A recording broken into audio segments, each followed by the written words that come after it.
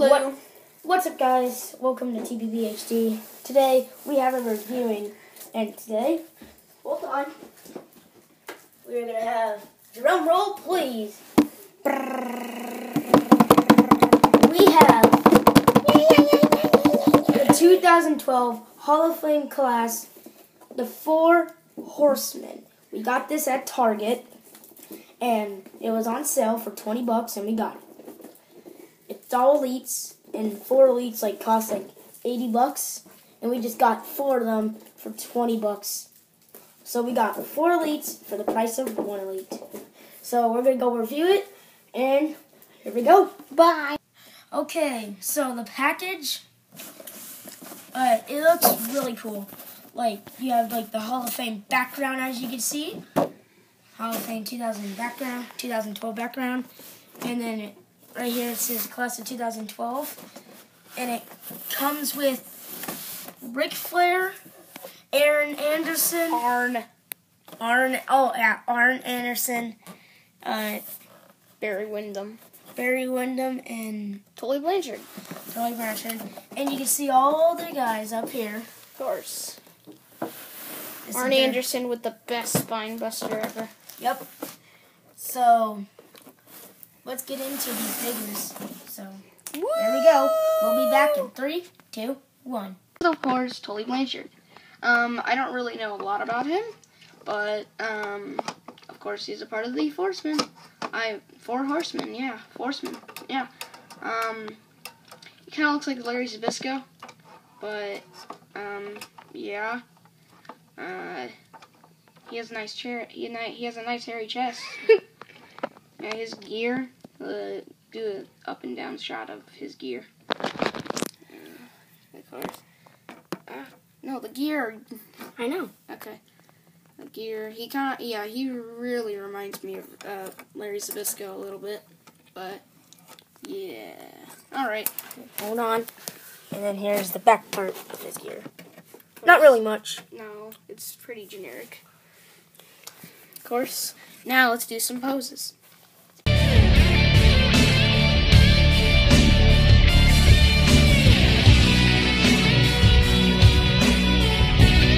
Is Barry Windham, of course. He was supposed to be a tag partner with Dustin Rhodes, the natural, to uh, the uh, tag team champions at WCW, uh, which was he was also included in the WWE 2K16 DLC, uh, not actually being a playable character, of course. Um, but yeah, this is Barry Windham, of course. Uh, sporting. Uh, let's go back. It's got a nice ponytail. I don't know if this uh, jacket is removable or not. Probably is, but I guess I'm. But I'm not gonna get it out. Um, boots. There's his boots. Very red and black. Uh-huh. Now let's do some poses. Three, two, one.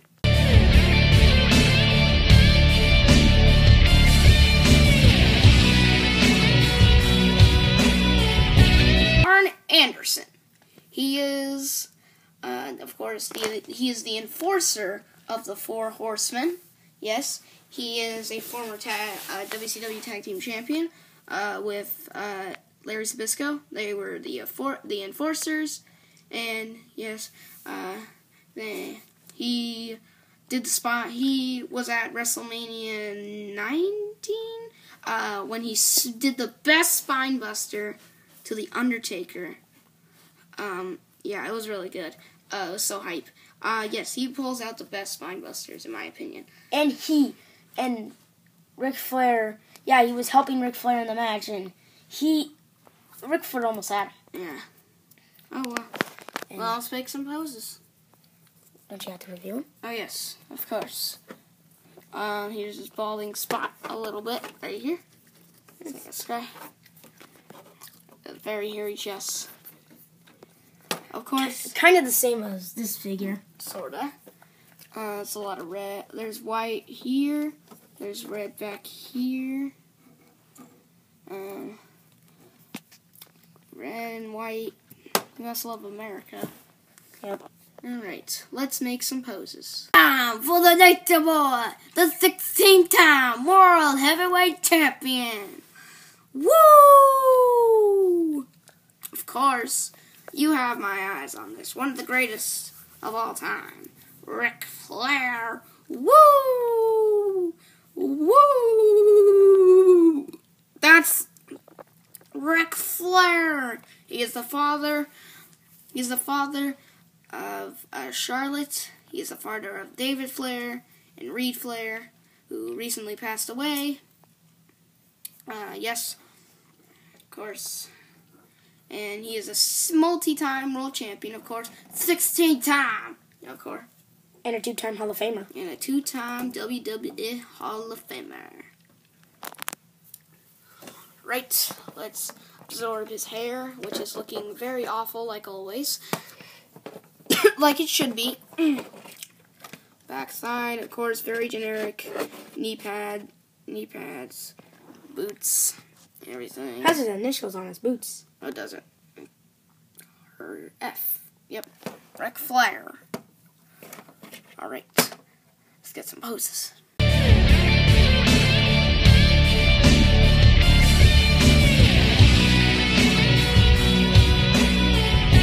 This is the Four Horsemen. Yes, the four men in the WCW that overtook the stable name. The Four Horsemen. Ric Flair, Arn Anderson, Barry Windham, and Tully Butcher. What's his name? Tully Butcher, something.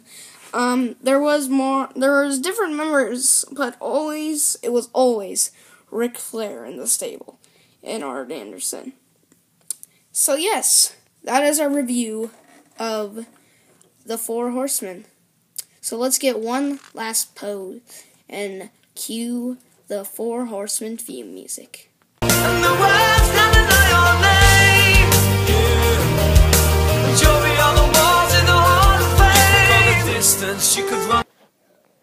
Like, comment, and subscribe. Just do it!